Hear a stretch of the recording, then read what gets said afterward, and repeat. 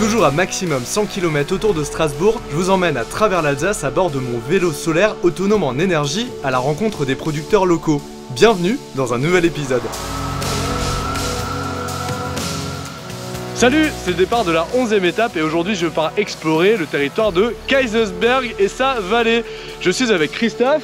Salut Jérôme C'est le directeur de l'office du tourisme, mais aussi avec la plus belle des Alsaciennes, Laetitia Bléger. Salut. Allez, on te suit Christophe. Allez on y va, je vous fais découvrir cette belle vallée de Kaisersberg Parce que là on va aller dans le vignoble, mais tu sais que Jérôme, il y a la montagne aussi. On peut monter à 1200 mètres, il y avait même de la neige en début de semaine.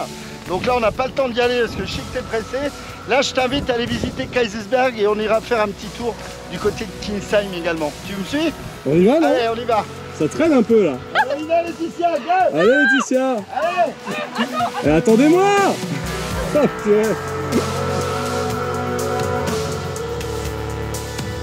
Alors euh, j'adore Kaisersberg, ou KB, l'Alsacien dit KB.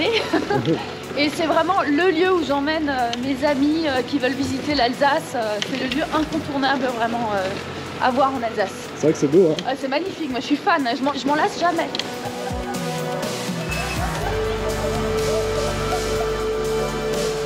Ah c'est vrai que KB c'est trop beau Laetitia Le KB c'est incroyable, regarde, c'est magnifique. Laetitia et Jérôme, vous venez avec moi, il faut vraiment que vous voyez ça. Cette église, on ne peut pas passer à côté quand on vient à Kaisersberg.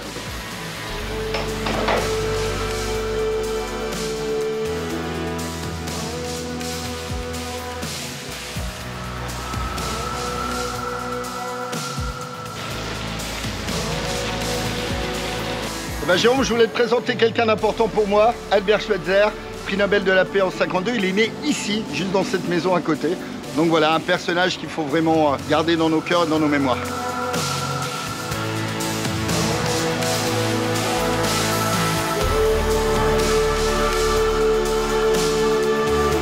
Oh là là c'est vrai que c'est beau Kaisersberg Ce château là-haut J'adore ce coin, euh, c'est vraiment un endroit où je viens me ressourcer en fait. Christophe tu m'emmènes où pour ma rencontre du jour? Et ben voilà, comme on est dans le Grand Cru Schlossberg ici, je te propose d'aller voir un vigneron extraordinaire qui fait plein plein de choses et plein de surprises. Il s'appelle Philippe Blanc du domaine Paul Blanc à Kinsheim. C'est juste à côté, c'est un personnage haut en couleur et il fait des vins extraordinaires. Tu viens? Eh ben, J'ai hâte de le rencontrer, c'est parti Mais ici c'est le paradis hein, pour le sport, la rando, se ressourcer. Bonjour. Ouais, Justement tu vois, il court. Il. C'est vraiment une grande passionnée de nature hein. Ouais, il m'a fallu du temps pour le comprendre, mais c'est vrai que c'est dans la nature que je trouve euh, mon bonheur, mon équilibre en fait. Bonjour. Bonjour Philippe. Salut Philippe. Alors c'est ici le domaine? Fabuleux hein On est où ici Philippe? Ben, C'est la cave familiale. Alors moi je m'appelle Philippe Blanc, je suis vigneron au domaine Paul Blanc avec mon cousin Frédéric qui est l'artiste du domaine. Et on exploite 36 hectares en culture bio ici à Kinsheim, dans la vallée. On fait ici du vin depuis le 8e siècle et donc euh, il y a une grande tradition et c'est comme ça qu'on a classé les grands crus avec euh, ces sites un peu d'exception.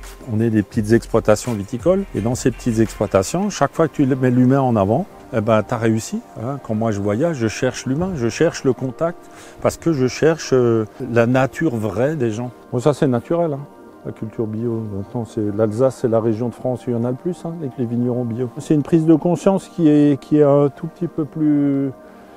euh, parce qu'on est proche de la Suisse et de l'Allemagne où il y a toujours eu ces mouvements. Et ce qui fait qu'il y a eu des précurseurs et maintenant ben, tout le monde s'y est mis. Parce que tout le monde a compris le, le sujet. Euh, presque un quart des exploitations sont en culture bio et on va passer au, au tiers et probablement la moitié dans 5 ans. Et puis ce respect de la nature est magnifique. Eh ben, quand tu en mets une bouteille d'Alsace, quand tu as vraiment mis tes tripes dedans, c'est comme si tu achetais un livre et que tu vas voyager en tournant les pages, en goûtant le vin. Tu il y a quelque chose de très culturel dans un acte de goûter, parce qu'on déguste le vin. Et donc euh, chaque fois que tu parles avec des gens, tu peux partager des valeurs, tu peux partager une expérience. Bien sûr, là, on va goûter le vin d'ici. Voilà, tu te laisses porter, tu accueilles la sensation. Tu peux partager un paysage, un vécu, et les gens, quand tu le fais avec le cœur, c'est magnifique, tu. Tu peux créer des, des ponts comme ça, et donc euh, bah, tu deviens l'ambassadeur de, de ton paysage. Le Qigong a été pour moi un bon moyen pour faire rentrer les gens dans cette dimension de la perception du goût, de la perception des choses. L'idée, c'est que le Qigong est un très bon outil pour comprendre, ressentir les, sensations qui sont créées par la dégustation. Et grâce à ça, on rentre dans le paysage, mais en même temps, on rentre dans son monde intérieur. Et ça, c'est génial pour déguster. Dans la nature que je trouve mon équilibre maintenant.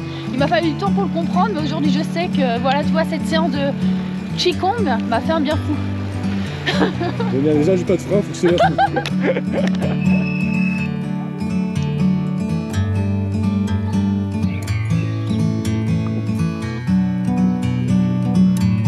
Ici on est à Rigvire, c'est une ville qui a eu la chance de ne pas être détruite pendant la guerre, du coup c'est totalement préservé. On l'appelle même la perle du vignoble. Regarde-moi cette belle tour. On l'appelle euh, le Dolder. C'est l'emblème de Rigvire. C'est trop beau.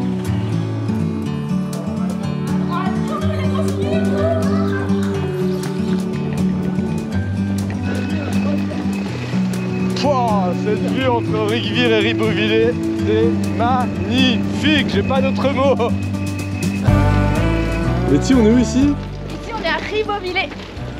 C'est ici que j'ai été au collège et au lycée ici. Ah, tu connais bien là euh, c'est euh, bah, plein de souvenirs d'enfance.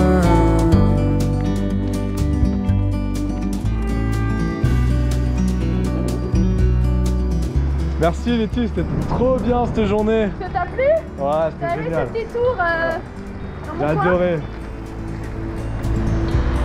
Merci aussi Christophe hein De rien, avec plaisir. Pas de jalousie. là, je lui fais confiance là, c'est cool. Là, c'est moi qui, qui se fait les guides. Hein. Elle la chef là maintenant. Allez, plus vite, ça, ça, Ils sont chauds. Quelle journée incroyable et autant vous dire que c'est aussi très sympa de partager la route avec un passionné comme Christophe et une boule d'énergie comme Laetitia. Demain, je pars explorer le territoire de Célesta et sa région au pied du Haut-Königsbourg. Alors à demain